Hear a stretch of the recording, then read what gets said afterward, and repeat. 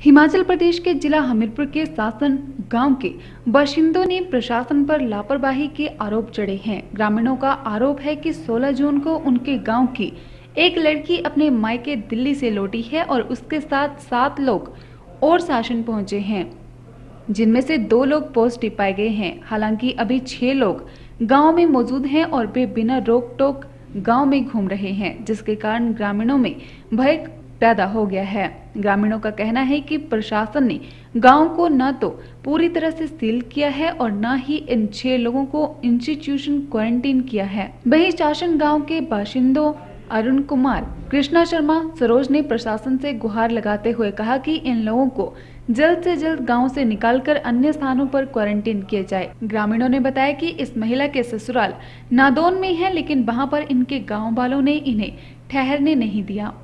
हमारे गाँव की ये समस्या है कि जिस दिन चौदह तारीख को यहाँ पे बाहर से लोग आए थे, जो कि हमारी पंचायत के नहीं हैं, आठ लोग आए थे, वो दिल्ली से आए थे, और जो उनका पास था, वो गाजियाबाद का था। तो लोगों ने, सभी गाँव वालों ने ऑब्जेक्शन किया था चौदह तारीख को भी कि इनको यहाँ नहीं रखा जाए। जहाँ इनकी पंचायत है, बटेड़ा या पनसाई, वहाँ उनको रखा जाए, और इस गाँव के नहीं हैं ये।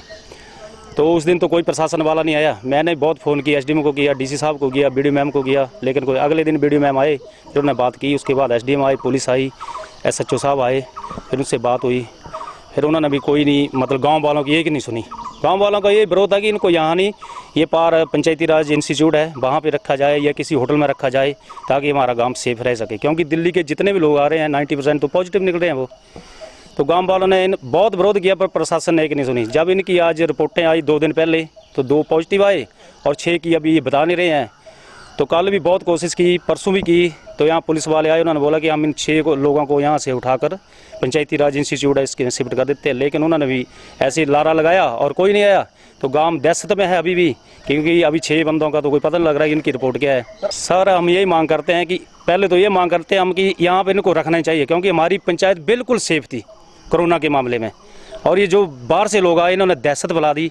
गाँव के लोगों में दहशत फैल गई है। पहले तो सरकार बोलती थी कि बचाव करो। जब लोग सड़कों पर निकलते थे, उनको पीटते थे। पीटते थे कि अपनी सेफ्टी कर अब हमारे गाँव में और हमारी पंचायत में बाहर के लोगों को लाकर यहाँ पे कोरोना पॉजिटिव निकले तो दहशत होनी है। अब प्रशासन क्यों नहीं ये सख्त कार्रवाई कर रहा है? पहले तो इन्होंने मारपीट की, पुलिस वालों ने लोगों को पीटा बाहर। अब बाहर से लोग ला हमारी पंचायत में रख दिया और हमारी पंचायत का माहौल ख़राब कर दिया। तो हम प्रशासन से ही करते हैं जो छः लोग यहाँ पे बचे हैं, उनको भी यहाँ से उठाया जाए और इनको इंस्टीट्यूट किया जाए, जहाँ इन्होंने इंस्टीट्यूट सेंटर खोले हैं, वहाँ पे रखे जाए। समस्या हमारी है सर, हमारे मतलब चौदह तारीख को यहीं पे मतलब आठ लोग जो है, वो रखे गए यहाँ से दिल्ली से आए हुए।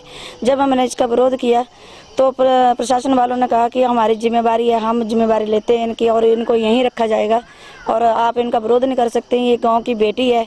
और आप तो अनपढ़ लोग हैं, आपको इन कानूनों का पता नहीं है कि क्या होता है कानून। हमें पता है, एसडीएम साहब ने बोला कि अगर इनके पॉजिटिव रिपोर्टें आती हैं तो हम इनको यहाँ से ले जाएँगे उठा के। जब इनकी पॉजिटिव रिपोर्टें आई, दो को तो ये ले गए, लेकिन छः को इनको यहीं रखा है अभी तक। कोई नहीं लेने आया इनको।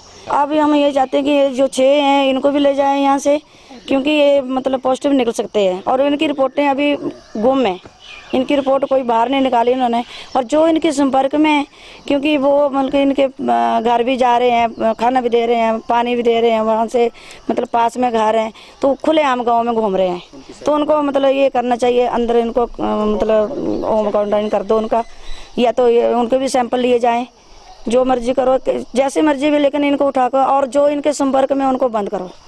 वो गाँव में घूमना नहीं चाहिए उनको, खुले आम, क्योंकि हमारे घर, गाँव में छोटे छोटे बच्चे हैं, मरीज़ भी हैं, उनको भी कुछ भी हो सकता है। अगर एक और आ गया गाँव में तो देखो क्या हो सकता है गाँव का। अब प्रशासन जिम्मेवारी लेके तो चला गया, लेकिन उनको ये नहीं पता कि अब हमने जो गाँव वालों से वायदा किया है, उसका हमने क्या करना है आगे। जब हमने परसों पॉजिटिव आए तो उनको बुलाया सबको, लेकिन कोई नहीं यहाँ पे आया। पुलिस वाले सब इंस्पेक्टर आए थे। लेकिन बाकी कोई नहीं आया यहाँ पे। बोलते कि हम नहीं आएँगे गाँव वाले ऐसे बोलते हैं तो हम नहीं जाएँगे। और अब इन्होंने जो है तो मतलब कल से लेटर निकाला हुआ है कि गाँव को सील कर रहे हैं। तो जब एसडीएम साहब आए तो उन्होंने हमारे साथ वायदा किया है कि हम गाँव को सील नहीं करेंगे। अगर ये पॉजिटिव आते हैं तो उनको ले जाएँगे हम उठा के यहाँ से। अब इन्होंने कल लेटर निकाल दिए कि मतलब एक की धारा लगाई हुई है इनको कि कोई बाहर नहीं जा सकता यहाँ से गाड़ियाँ बाहर नहीं जा सकती सर, सरकारी ये आ सकता है और ये बना दिए इन्होंने इंस्टीट्यूट कंटेनमेंट सेंटर बना दिया इन्होंने। लेकिन गाँव के बीच में तो होना नहीं चाहिए, नहीं तो प्रशासन को भी पता होता है कि गाँव के बीच में तो नहीं होना चाहिए, नहीं ये।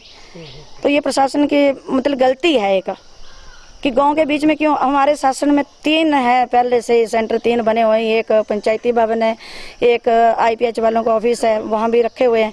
एक स्कूल भी खाली करवा रखा है इन्होंने। तो वहाँ क्यों नहीं रखा? रॉयल होटल में इनके मतलब कॉन्टैक्ट हैं। पहले तो इन्होंने बोला कि इसमें रखेंगे हम इनको।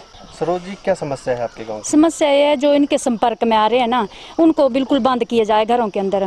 क्योंकि वो हम लोग अंदर हो गए हैं और वो खुले आम घूम रहे हैं। हम हैंडपम्प से पानी नहीं भर सकते हैं। हम हमारी पानी की समस्या आ गई है। हमारी बाहर निकलने की समस्या आ गई है।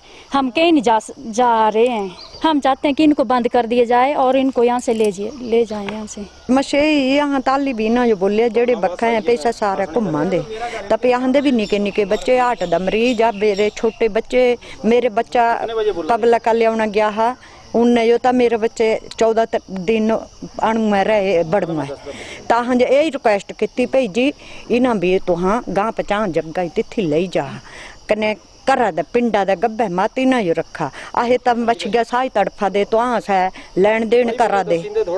ਫਿਰ ਇਸਾ ਬੋਲਾ ਦੇ ਭਈ ਆਹ ਜੋ ਇੰਜ ਬੋਲਾ ਦੇ ਆਹ ਜੋ ਇੰਜ ਬੋਲਾ ਇਹ ਤਾਂ ਗਾਲੀ ਦੇ ਆ ਦੇ।